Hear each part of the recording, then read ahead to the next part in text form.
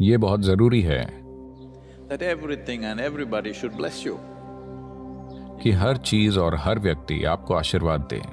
जब आप ज़मीन पर चलें तो धरती आपको आशीर्वाद दे। ये प्राणी विकसित हो क्योंकि आपको हर चीज़ की ज़रूरत होगी। अगर आप अपने अंतिम शिखर तक पहुँचना चाहते हैं तो आपको हर उस चीज़ की ज़रूरत होगी जो आपको मिल सकती है। तो ये बहुत ज़रूरी है कि हर कोई और हर चीज़ आपको आशीर्वाद दे। अगर आप जाकर एक पेड़ के नीचे बैठे तो पेड़ आपको आशीर्वाद दे। ऐसे जीने का एक तरीका मौजूद है।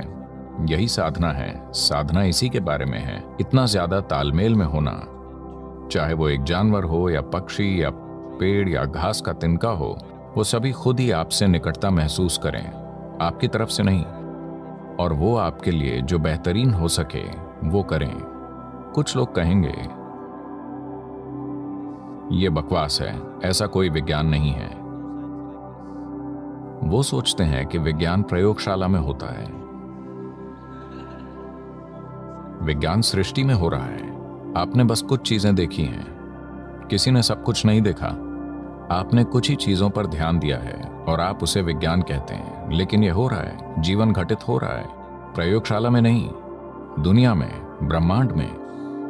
तो एक मददगार माहौल बनाना ही इस संस्कृति का मुख्य उद्देश्य था। हमेशा कि एक आध्यात्मिक व्यक्ति का मतलब होता था कि उसे संस्कृति में तुरंत मदद मिलती थी।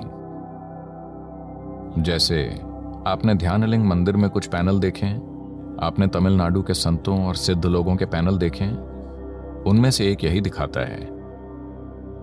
अगर किसी में आध्यात्मिक होने का कोई लक्षण है तो भले ही वो आपको मारना चाहे, आप खुद को नहीं बचाएँगे, उस हद तक। यहाँ तक कि अगर लोगों के पास अपने या अपने बच्चों के लिए भोजन नहीं होता था, और वो किसी को आध्यात्मिक मार्ग पर देखते थे तो पहले उसे भोजन देते थे, क्योंकि उन्हें लगता था कि वो अपने जीवन का हमसे बेहतर इस्तेमाल कर रहा है। हमें अपनी संस्कृति में ऐसा माहौल बनाना होगा। ऐसा नहीं है कि आज हम जाकर भोजन के लिए लोगों पर निर्भर रहने लगे। हम दूसरे तरीकों से चीज़ें कर सकते हैं। हमें यही चाहिए कि हम जिस हवा में सांस लेते हैं, जो पानी हम पीते हैं, जो खाना हम खाते हैं, और धरती का हर दूसरा इंसान और हर दूसरा जीव, जो हर पल किसी तरह से हमारे जीवन में मदद कर रहा है उनके प्रति हमारे अंदर आभार की भावना आनी चाहिए। हेलो? आप ज़िंदा नहीं रह सकते थे। आप अपनी मूर्खतापूर्ण बुद्धिमत्ता के कारण ज़िंदा नहीं हैं। आप इसलिए ज़िंदा हैं क्योंकि ये सारी चीज़ें हर समय आपके लिए काम कर रही हैं। तो साधना का एक महत्वपूर्ण हिस्सा ये है कि आप कुछ नहीं जैसे हो जाएँ। अगर आप कुछ नहीं नहीं बन सकते तो कम से कम ब्रह्मांड में बाकी सभी लोगों से छोटे बन जाएँ। हेलो? ये बहुत महत्वपूर्ण है। जब आपका व्यक्तित्व छोटा हो जाता है तो आपकी उपस्थिति बहुत बड़ी हो जाती है। और दुनिया में हमें इसी की ज़रूरत है। हमें ऐसे लोग चाहिए जिनकी मौजूदगी बड़ी हो। ऐसे लोग नहीं जिनकी शख्सियत बड़ी हो। और कोई भी उन्हें सहन नहीं कर पाए। तानाशाह।